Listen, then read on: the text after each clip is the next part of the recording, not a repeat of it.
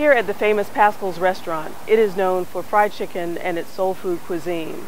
The brothers Robert and James Pascal first opened their eatery in 1947 on West Hunter Street. In 1959, they moved to a larger site on West Hunter Street, which is now known as Martin Luther King Jr. Drive.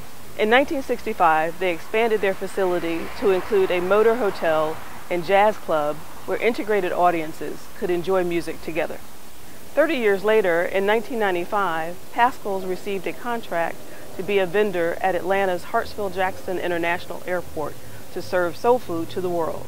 The Paschal brothers were very supportive of the civil rights movement and social justice.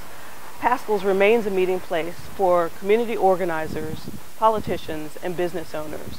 In 2002, the Paschal brothers partnered with H.J. Russell, an African American contractor, to build this location on Northside Drive.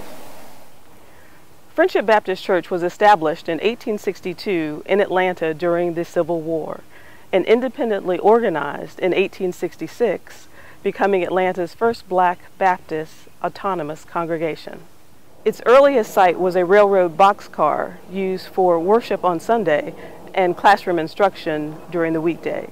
Previously located on Northside Drive and Mitchell Street, the church was demolished in 2015 to make way for the Atlanta Falcons Mercedes-Benz Stadium.